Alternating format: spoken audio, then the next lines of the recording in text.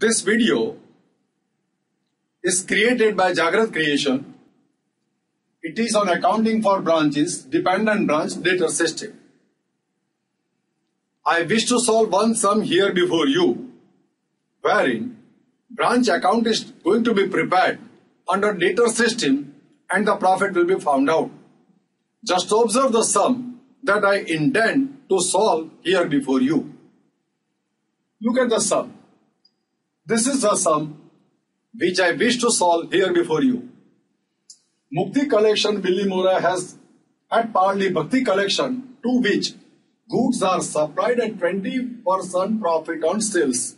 So 20% profit on sales means 20% is to be considered on the invoice price.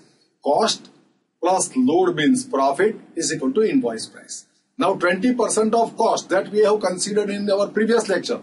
Now 20% of invoice price is the rate at which the profit is loaded to the cost. So cost plus profit is equal to invoice price or sales of HO2 branch.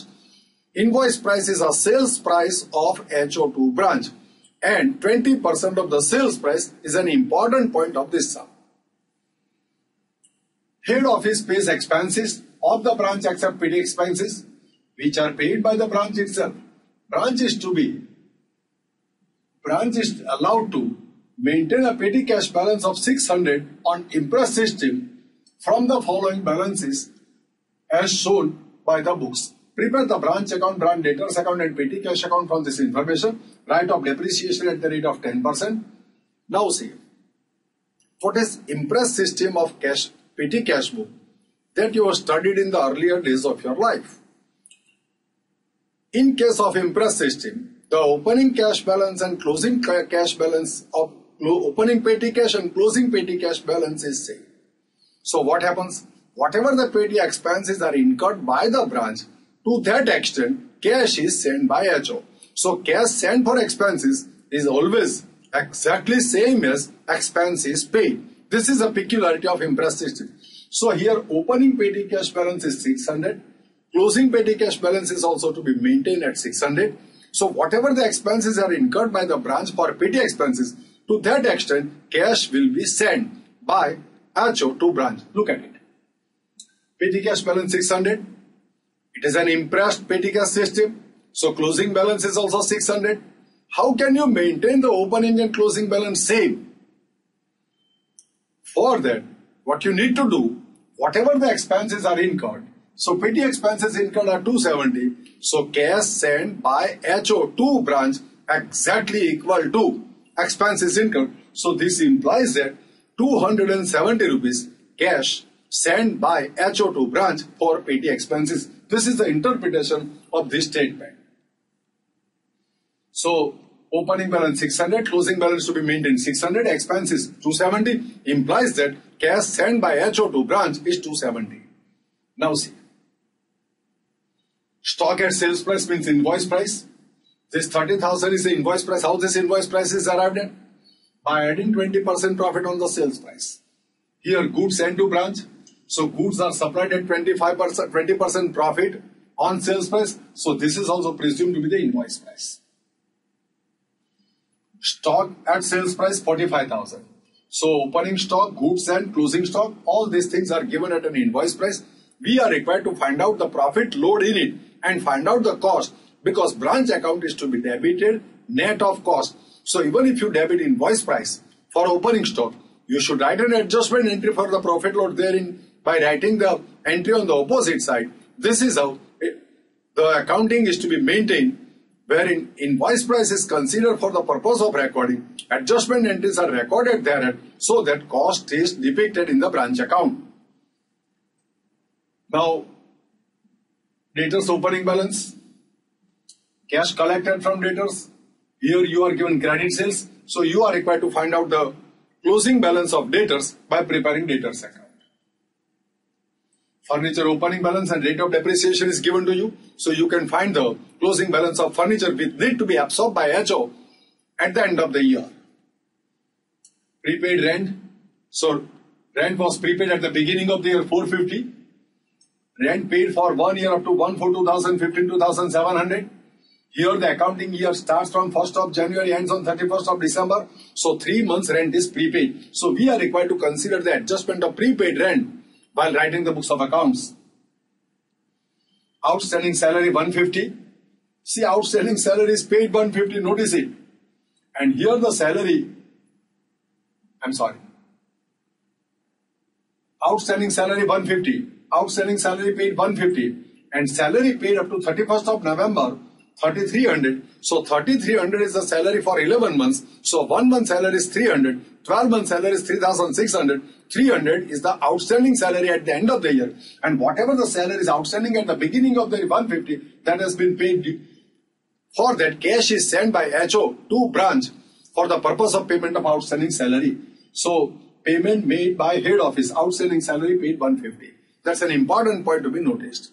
Now after explaining these details in this fashion, let me start preparation of branch account, cash account, debtors account. These are the working notes that I prepare. Mukti collection, Bilimora has at party Bhakti collection to which the goods are supplied at 25%, 20% profit on sales price. So profit is 20. Sales price means invoice price. Sales price means invoice price. So price at which goods are sent by HO to branch is known as sales price for HO or the other name for that is invoice price. So invoice price is 100, 20 is the profit. Cost plus profit is equal to invoice price. So cost element is 80. So cost is found out 80. Now stock at selling price 30,000. Goods sent to the branch that is also at an invoice price. Stock at an invoice price. If you are not told anything in the sum specifically at cost, goods sent to branch at cost, then and then you should presume them to be at cost. Otherwise, take it for granted that they are given at an invoice price. Now, 100 is to 20. How much for 30,000? So it should be 6,000. Profit element is 6,000. Opening stock at cost 30,000 minus 6,000, 24,000. 100 is to 80, how much for 30,000, 24,000? Same way we can find out the profit element and cost element and goods and in the closing stock. So 100 is to 20, how much for 150? 30,000. 150 minus 30, 120 or 100 is to 80, how much for 1 lakh 50,000? So 15 is a 120, 1 lakh 20,000. Similarly, for closing stock, 100 is to 20, how much for 45,000, 9,000? 45,000 minus 9,000 cost is 36,000 or 100 is to 80 how much for 45,000 36,000 this is how I have prepared a working note. On the basis of working note I am going to record all the three transactions straight away in my branch account. Branch account debit to stock account at the beginning of the year. And the adjustment entry is to be recorded opening stock. So what's the entry? Branch account debit to stock opening stock account credit 30,000 opening stock account debit 6,000 to branch account credit 6,000. The net effect 24,000 is debited to branch account. Net debit for opening stock at cost is 24,000. Branch account debit to goods sent to branch account.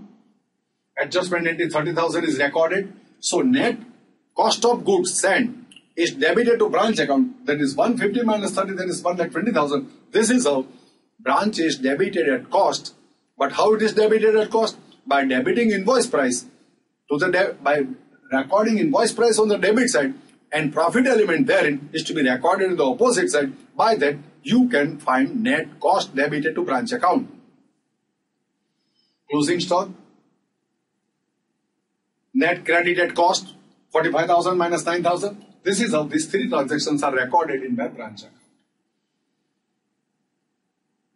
Head office pays the expenses of the branch except petty expenses which are paid by the branch itself opening balance of petty cash, branch account debit to petty cash account. At the beginning of the year, all the assets are given to the branch so that economic existence of branch is created.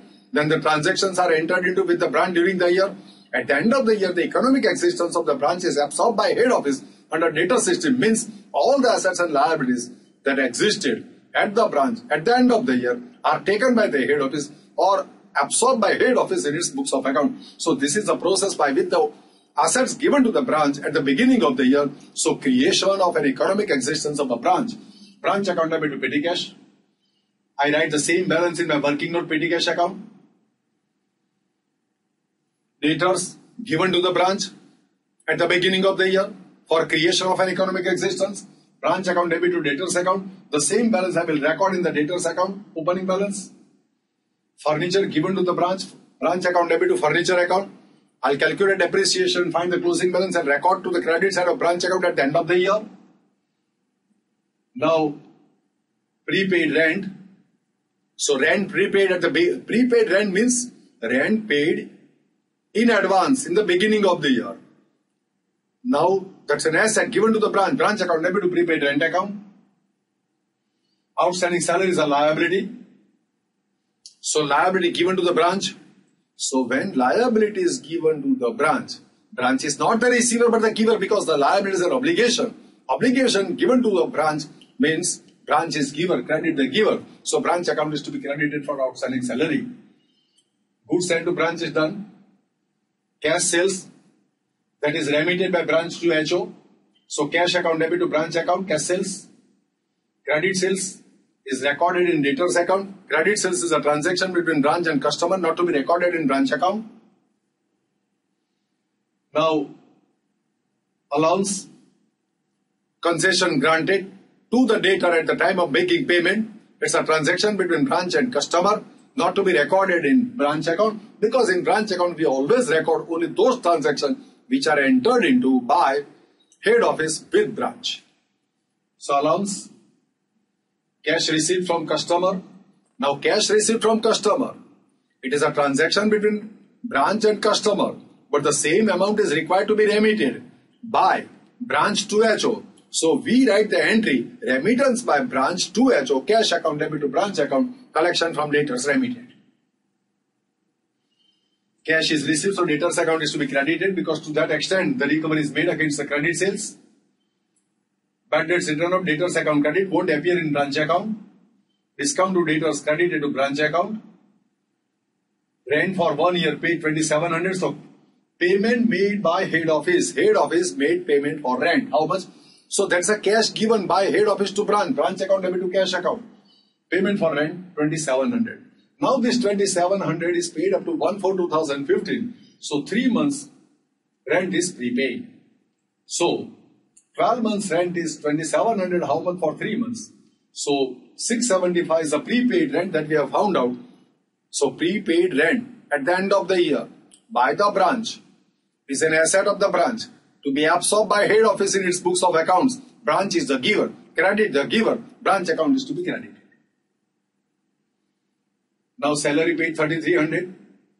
Now this is a salary paid 3300 only up to November, November 2015. So 11 payment is 3300. One month payment is, payment is outstanding.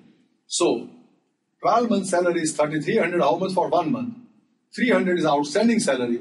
So liability of the branch absorbed by the head office in its books of account. When the liability is absorbed, liability is taken Branch is the receiver. Remember. So branch account debit to outstanding salary account credit. This is the entry to be recorded at the close of the year for recovering the liability. Now one important point, the outstanding salary 150 is also paid here. Now insurance paid 540 that is up to 31st of March 2016. So three months prepayment so 135 is the prepayment, prepaid insurance. So insurance 540, this is prepaid that is to be carried forward to the next year. So closing balance of asset absorbed by head office. So credited to branch account. Now outstanding salary paid. So cash sent by head office to the branch for payment of outstanding salary 150. So 150 was the outstanding salary that is being paid. So this 3300 is the salary paid is for 11 months, one month salary is outstanding, we have recorded the entry for outstanding salary. Now PT expense is paid 270 as I have told to you. That much cash is also sent. Now furniture, write off depreciation on furniture at the rate of 10%. Opening balance is 15,000. 10% depreciation 1500.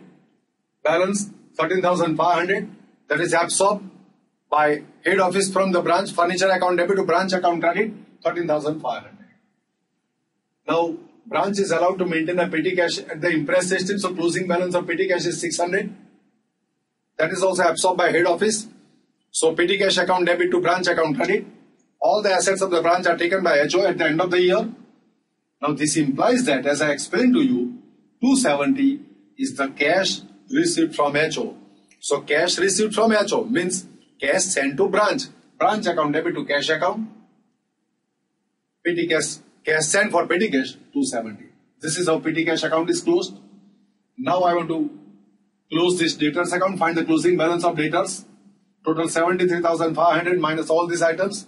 So you'll get the closing balance of debtors. This closing balance of debtors is absorbed by head office at the end of the year. So this balance will go to the credit side of branch account. So all these assets are taken by head office from the branch at the end of the year. Stock account debit, debtors account debit, petty cash account debit, furniture account debit, prepaid rent account debit, prepaid insurance account debit to branch account credit 72,360. This is how all the details for branch account we have recorded. Now let us find out the profit.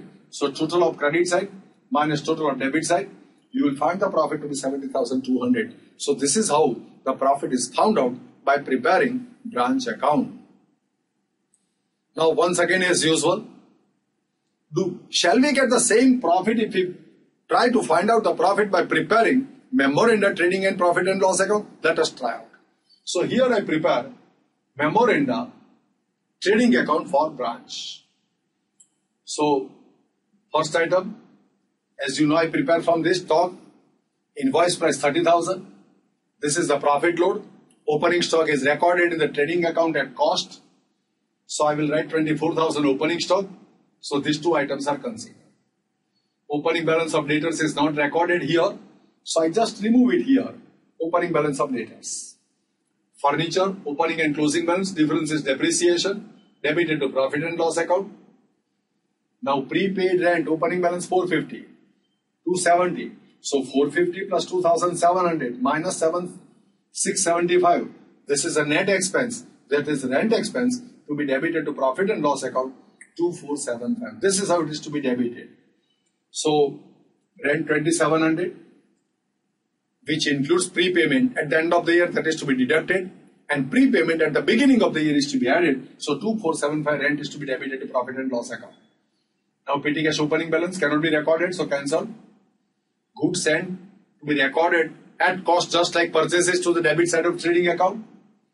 So 1 like 20,000 goods sent to the branch just like purchases debited to trading account.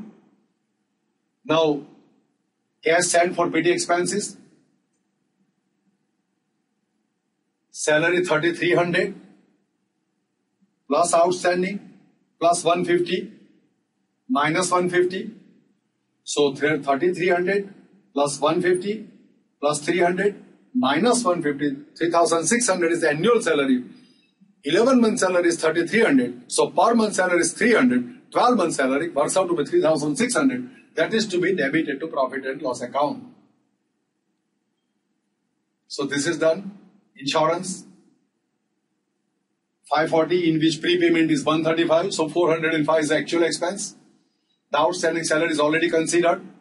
Closing stock will be recorded at cost so 45000 minus 9000 36000 closing stock recorded to the credit side of trading account.